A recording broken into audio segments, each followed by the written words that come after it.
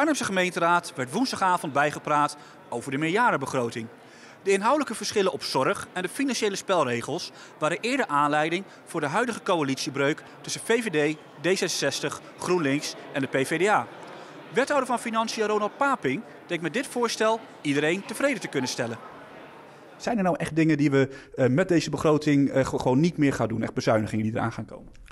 Nee, we hebben als eh, college voorkomen dat we hele harde bezuinigingen uh, moeten doen. We hebben natuurlijk wel, en dat is al eerder aangekondigd, uh, maatregelen moeten nemen of willen voorstellen op het gebied van de zorg.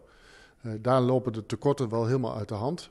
daar hebben we van gezegd, maar dat was al voor de zomer, dat we maatregelen willen nemen om de kosten te beheersen. Maar wel zodanige maatregelen dat ze ook sociaal verantwoord zijn.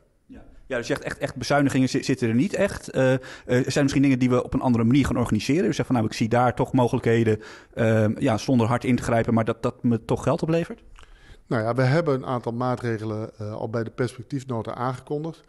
Om iets anders om te gaan met onze rentebuffers. Iedereen weet dat de rente op dit moment heel erg laag is. en wij hadden hem heel hoog in de begroting opgenomen met ook heel veel buffers. Dat hebben we anders gedaan. We gaan ook uh, veel meer onderhoud nu activeren. Dat wil zeggen dat we ze op de balans uh, zetten en niet in één jaar afschrijven. Uh, en dat levert ruimte op. We hebben ook nog eens kritisch gekeken naar een aantal bestemmingsreserves die wij als gemeente hebben. Is het geld wel daadwerkelijk nodig voor het doel waarvoor dat er staat? Nou, in een aantal gevallen konden we daar ook nog geld vinden. En daardoor is het ons gelukt dat in eerste instantie voor de zomer de weerstandsfactor onder de 1 is gezakt. En dat is eigenlijk iets wat de Raad uh, en wij als college ook niet willen. Maar hij zit nu boven de 1. Op de zorg blijft u wel hè, op een aantal punten zeggen van nou, dat, dat kunnen we goedkoper, kunnen uh, uh, dat, dat meer preventief werken. En op die manier gaan we kosten besparen. Is dat realistisch?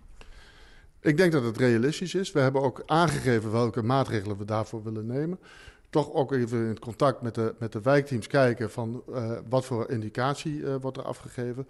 We proberen min, minder jongeren in de uh, verblijfszorg te krijgen. Meer toch proberen om de zorg thuis te verlenen. Dat is beter en dat is ook wat goedkoper. Nou, zo zijn er allerlei maatregelen die we voorstellen en die we, willen, die we ook willen nemen. Die we hard bezig zijn met voorbereiden.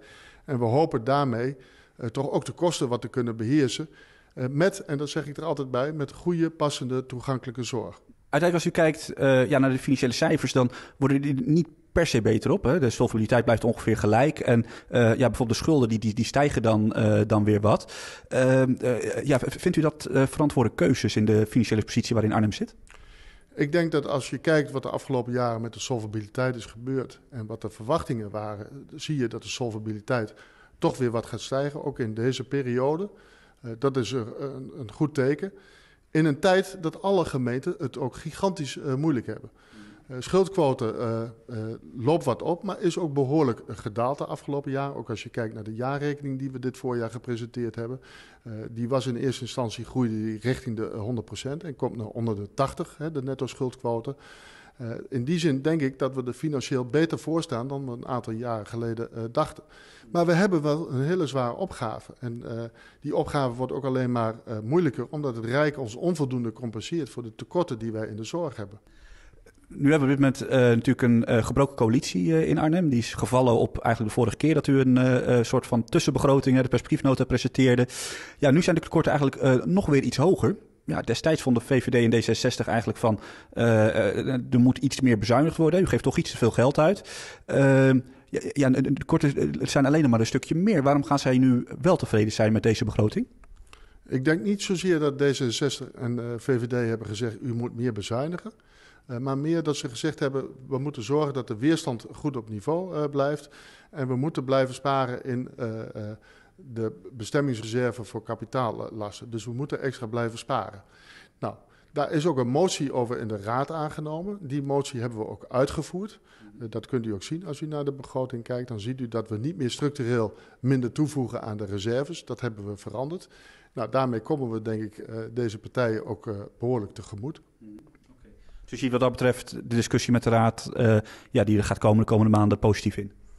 Ja, en ik zie ook uh, de discussie met PvdA en GroenLinks, die een andere motie hebben aangenomen, zie ik met uh, uh, vertrouwen tegemoet. Want die hebben gezegd, zorg nou dat je kritisch bent over welke zorgmaatregelen effectief zijn, maar ook wat ze sociaal doen. En als dat de spuigaten uitloopt, moet je dat eigenlijk niet doen. Nou, daarvoor hebben we een aparte reserve gereserveerd een bestemmingsreserve voor de zorg. zodat als er maatregelen zijn die toch te scherp uitpakken, dat we daar wat aan kunnen doen. Dus wat dat betreft, iedereen tevreden, denkt u? Nou, ik denk dat we een hele mooie begroting hebben aangeleverd in deze moeilijke tijd.